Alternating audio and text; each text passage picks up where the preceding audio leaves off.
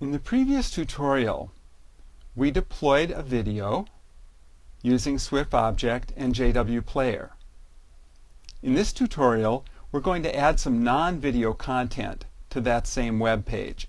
And we're going to use some of that non-video content to position the player on the web page. So this is the project that we created in the previous tutorial.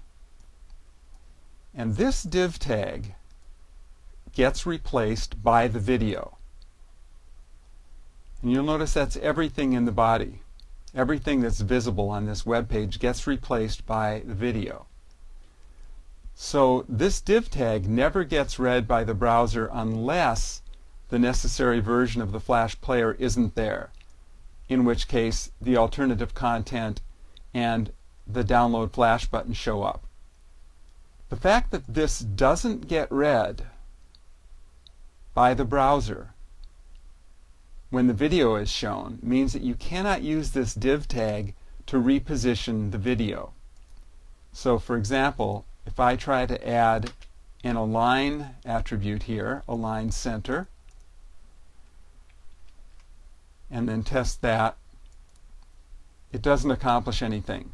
The video is still in the upper left hand corner of the browser. So I'll just get rid of that because that is not useful for our purposes.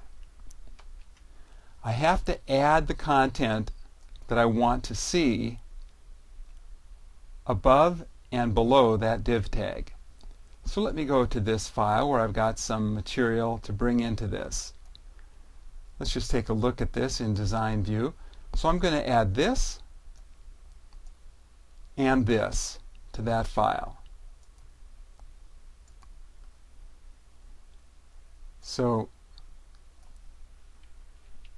I'm going to control C that to copy it. Go over here, go above that div tag, control V to bring that in. So I just brought this in. Notice the table and it's got an align equals center in it. And go back here grab this, Control C, and go below the div tag and Control V. So I just added that. I'll Control S to save that, and let's test.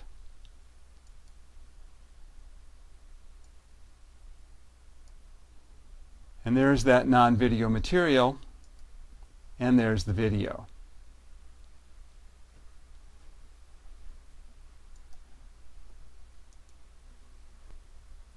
So just remember that the div tag will get replaced by the video and write your HTML such that with just the video in there, the things that you want to happen will happen outside that div tag.